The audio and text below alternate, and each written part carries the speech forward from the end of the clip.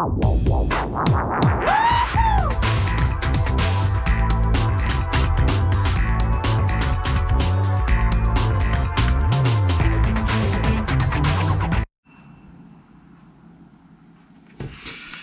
Borgheide, hallo Welt. Ja, es ist Ferienzeit in Brandenburg, zwei Wochen Oktoberferien, also Herbstferien, glaube ich, nennt man das. Und wie ist das da immer? Lutze ist allein zu Hause. Ja, warum wohl? Matze hat mich wieder mal verlassen. Der treibt sich wieder eine Weltgeschichte rum, aber mal gucken, ob wir den nachher nochmal erwischen. Äh, ja, Herbstferien in Brandenburg, Corona lässt grüßen. Es wird wieder aller Orten von so einem Lockdown oder so gesprochen. Wir wollen mal nicht hoffen, dass es hier passiert. Mundschutz wieder überall. Äh, ja, ich bin nicht krank, hoffe ich jedenfalls.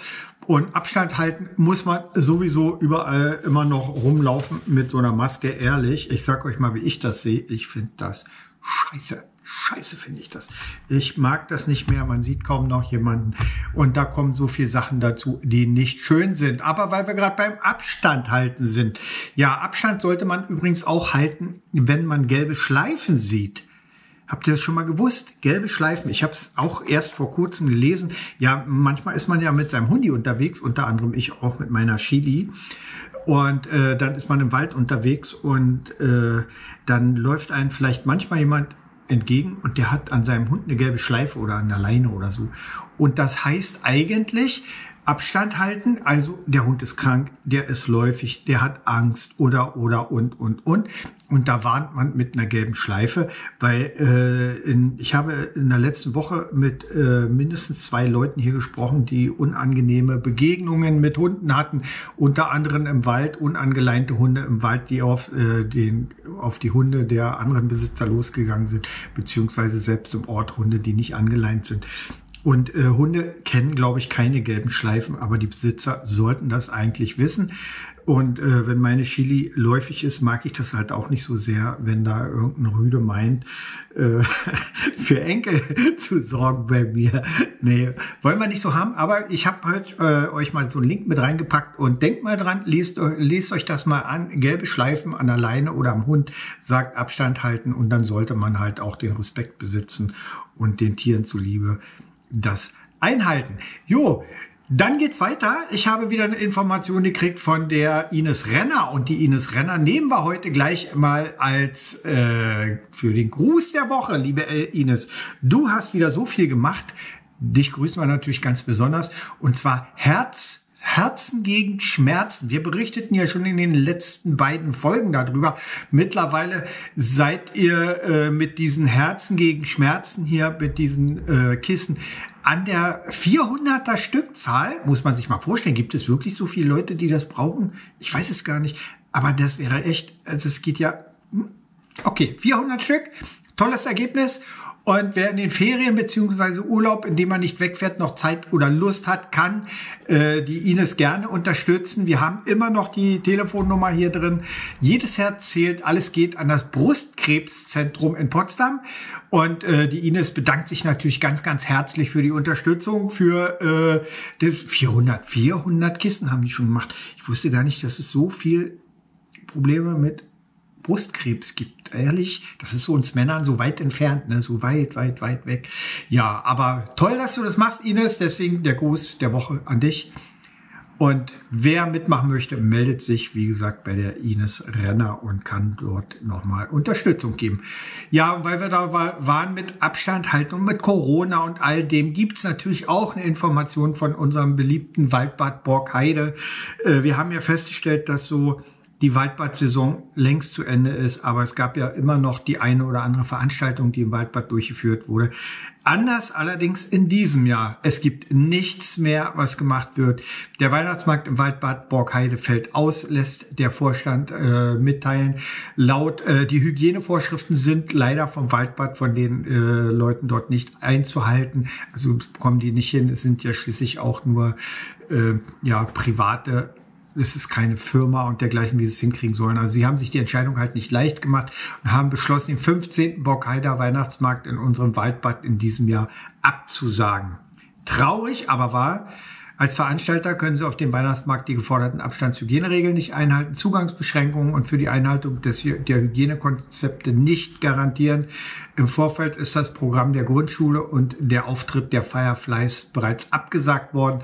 Aktuell haben sie Anmeldung gehabt für zehn Stände. Da momentan allerdings niemand abschätzen kann, wie sich die Lage bis zum Dezember entwickelt, ist eine Organisation des Weihnachtsmarkts derzeit unmöglich. Ja, dem Verein, äh, dem Vorstand, dem Verein insgesamt tut es wahnsinnig leid und sie hoffen auf Verständnis und wünschen euch Gesundheit. Es ist nicht schön, überall dasselbe. Ich habe manchmal so das Gefühl, dass so das Jahr ist ja noch ein Vierteljahr hin, aber das ist so abgeschaltet schon. Ich weiß, ich weiß nicht, manchmal nicht, wie ich darauf reagieren soll. Ich habe so manche Leute dieses Jahr überhaupt noch nicht gesehen. Äh, man trifft sich, wenn überhaupt, nur bei Netto mit Mundschutz und ich weiß nicht, schön ist anders ich weiß nicht, wie lange das noch so gut geht. Zwei, äh, unabhängig von Corona habe ich doch das Gefühl, dass so viele Sozialkontakte, so vieles soziales Zusammenleben hinten runterfällt. Äh, wir hoffen, dass nicht allzu viel kaputt geht. Es gab dieses Jahr so viele Sachen nicht, die es sonst immer gegeben hat. Man kann es gar nicht alles aufzählen und pff, ich finde es traurig. Ich finde es einfach traurig und ich weiß nicht, ob ich weiß nicht, was ich davon halten soll. Muss ich mal ehrlich sagen. Naja gut, aber noch ist Fußball. Übrigens, die Herren waren in Wittbrietzen unterwegs und äh, haben Wittbrietzen mit einem 5 zu 1 verlassen. Natürlich nicht zu ihren Gunsten, sondern zugunsten von Wittbrietzen. Äh, scheint momentan so zu sein. Das nächste Spiel findet allerdings erst am Sonntag, den 25.10.2020 statt, um 14 Uhr. Und zwar dann in Borgheide gegen den FSV Grün-Weiß Niemek. Am 18.10. ist nämlich für die Borgheider Fußballjungs spielfrei. Da können Sie sich mal ordentlich erholen und vielleicht bis dahin noch mal 14 Tage trainieren. Vielleicht kommt doch endlich mal wieder ein Unentschieden oder auch ein Sieg bei raus. So, nun lange Rede, kurzer Sinn. Da ich alleine bin, Wetter, Wetter, ja, äh, ich bin nicht Matze und kein Wetterfrosch und da habe ich geguckt, was machen wir denn? Ich krieg den Matze, ich krieg den, er treibt sich rum und hier ist er, bitte. Ach, da ist er ja. Matze, sag mal, wo treibst du dich denn rum? Ja, Prost. Hörst du mich? Hallo, sag mal, hat man hier nicht mal Urlaub seine Ruhe oder was? Wo bist du? Muss das sein? Ich bin äh, weg. ich kann es doch nicht hier jede Woche mit dir, habe ich schon mal gesagt. Das klappt so. Ich muss auch mal raus. Du bist öfter raus. Ich bin öfter mal raus. Ja, ich treibe mich wieder mal rum. Schöne Grüße von der polnischen Ostsee. Swinemünde genannt. Schön, du hast mich wieder im Stich gelassen, ganz alleine hier. Du, ich habe letzte Woche aufgerufen, dass jemand neben dir sitzen soll zum Video, damit du da nicht alleine rumsitzt. Und das müssen wir mal energischer betreiben. So, okay. Hast du gehört, der Fußball hat verloren. Der Fußball hat verloren? Ach nö. Wie immer. Äh, was mit dem Wetter? Das Wetter ist hier sonnig bei mir heute. Ich könnte dir mal ein Foto schicken, wie es hier aussieht. Vielleicht mache ich das noch. Kannst du es noch mit einblenden? Glaube ich. Schicke ich dir mal. Jo. Und sonst? Ach so, soll ich dir was über das Wetter erzählen? Ja, also erzähl mal Wetter oder meinst du, ich mache Wetter? Bin ich ein Frosch? natürlich allein. Wir haben die Woche äh, schönes Herbstwetter. Vor allem Mitte der Woche haben wir ordentlich Regen von oben. Äh, und das wird dann Richtung Donnerstag ausschleichend sein. Temperaturen um die 15 Grad maximal.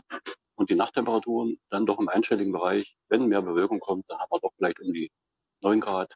Wenn der Nachthimmel frei ist und Sterne zu sehen, dann geht es bis auf die 5 Grad runter. Also ist bald Zeit, die ersten Pflanzen einzupacken. Na, kannst du ja nicht wissen, aber heute Nacht war es schon kälter als 5 Grad. Ach, guck an. Also, das, nee, das kann ich natürlich nicht wissen, weil äh, ich habe ja wohl ich warm im Hotel gelegen. Hm, na denn. Ja, dann erhol dich mal schön, mein lieber Matze. Wir gucken mal, wie wir ohne dich hier klarkommen. Also ich glaube, wir haben Sonnenschein, wenn du nicht da bist. Dann klappt es hier wenigstens mal. Ich habe heute Hecke geschnitten übrigens. Du hast mir auch nicht geholfen. Hast du fein gemacht. Hast du meine gleich mitgemacht? Nee, ne? Ja, habe ich auch mitgemacht. Die ist jetzt komplett weg. Oh, hm, danke. Ja, ich habe mich verschnitten. Gut, also, mein lieber Matze, äh, schönen Gruß nach Polen, auch an deine Anne und an deine anderen Verwandtschaft da, mit wem ihr euch da rumtreibt, ja? Genau. Und ich grüße nach Hause. Ja. Danke, danke. Wir sehen uns Donnerstag, Freitag, Samstag? Bis. Hm, lass dich überraschen. Ich stehe unangemeldet vor der Tür. Ja, wie immer. Alles klar. Viel Spaß noch und tschüss. Winke, winke. Ciao. Ja, Matze in Polen in Swinemünde. Der macht sich eine schöne Woche.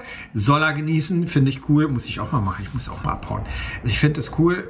soll er machen. Aber ich weiß gar nicht, war er schon in Ostsee schwimmen? Ich habe ihn nicht gefragt, aber okay. Wetter zeigt uns in der Mitte ein bisschen Nässe an, aber auch die brauchen wir. Alle warten auf Pilze.